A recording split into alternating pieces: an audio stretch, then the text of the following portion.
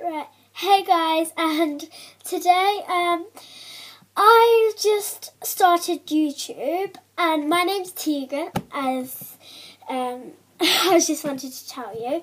And my name's Tegan and I really wanted to be a YouTuber because I always watch YouTube. I'm addicted to it.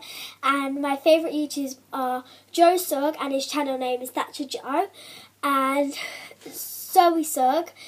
Um Joe's sister, and her name, her channel name is called Zoella. So go and check them out, and they're really, they're really good. And yeah, so today I'm just gonna introduce myself.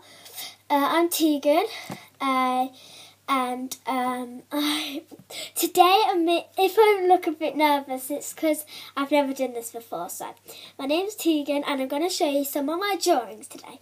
So and I just got pictures up on my iPad that I'm using now to record this video to um, copy some of these pictures. So my stepdad Michael wanted me to draw Jamie Vardy in a football and I literally can't draw that. So it's really bad if you, no offence, okay?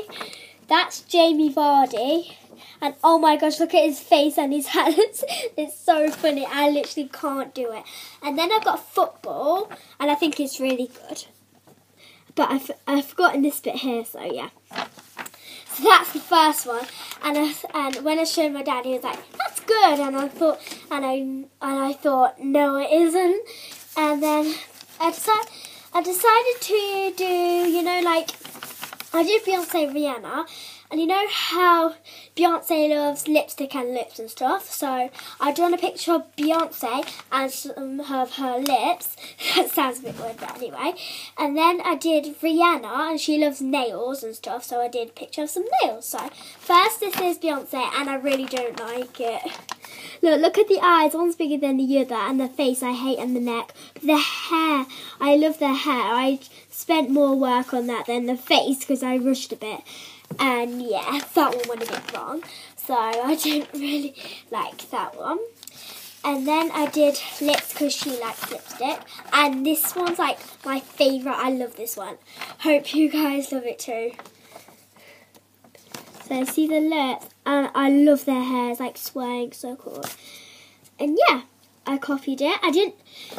And if you know, guys, I didn't trace any of these. I just got a picture on my iPad, what I'm using now to record it.